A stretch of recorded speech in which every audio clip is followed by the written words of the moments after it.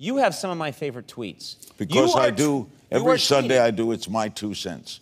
I just throw out things that uh, come into my mind. From into your mind, listen to this. I have a collection of some of your tweets here.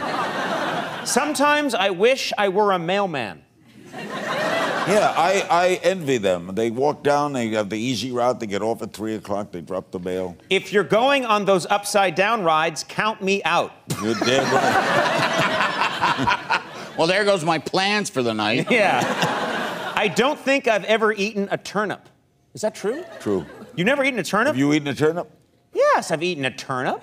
Yes. I've never- Cheers. To, I had I have one before every show. Listen to this. Cheers to whoever invented the Q-tip. Well, no, no, stop it. I you, what I do is I sit down on Sunday nights and I stream out these thoughts. I don't type them out. My wife sends them out. In other words, I give them to her. She Wait, says- you just lie there and you shout things? No,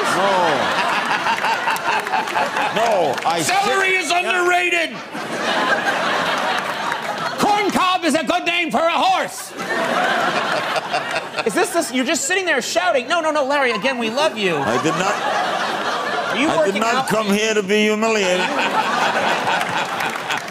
no, what I do is so it's a stream of consciousness. I I've been know. doing it- I did They're it brilliant. USA Today. You just let let an idea float out. I love this one. The rat is perfectly named. Is that true?